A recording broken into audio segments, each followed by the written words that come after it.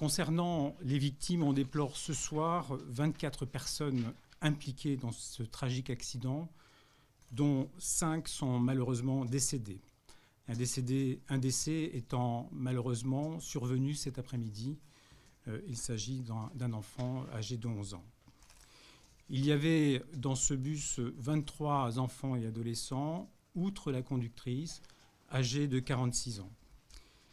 Quatre enfants sont décédés hier et, comme je l'ai indiqué précisément, un enfant est également malheureusement décédé aujourd'hui. Les opérations d'identification rendues euh, délicates hier soir ont abouti aujourd'hui. Les opérations de médecine légale se poursuivent. Tout est mis en œuvre pour qu'elles se déroulent dans les meilleurs délais. Je dois également ajouter que le pronostic vital de six victimes est encore euh, engagé ce soir. Trois enfants sont en revanche sortis de l'hôpital ce soir et ont donc pu rejoindre leur famille.